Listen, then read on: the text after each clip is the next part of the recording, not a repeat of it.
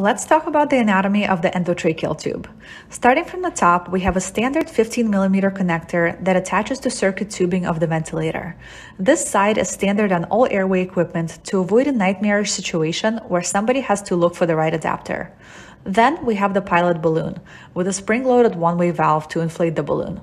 This valve prevents the air from leaking back out when the syringe is disconnected. The inflatable cuff does two things.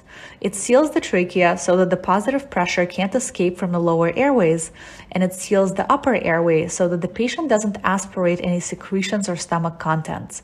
And this is an example of how it occludes the trachea. Looking at the tube itself, you'll notice that the curvature of the ET tube is in the natural shape of the airway. This development was actually an accident. The man responsible for the modern ET tube was Magill, and his assistant cut the first tubes he used for research from a roll of rubber tubing which inherited the memory of the cylindrical roll in which it was stored. To this day, the curvature of the ET tube is called the Magill curve.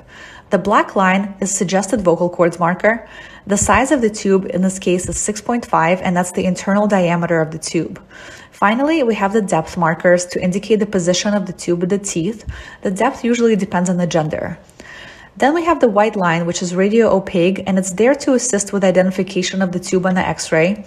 And now for my favorite part is this little opening called the Murphy's eye, which ensures that even if the main opening is occluded in some way by secretions or otherwise, ventilations can still occur.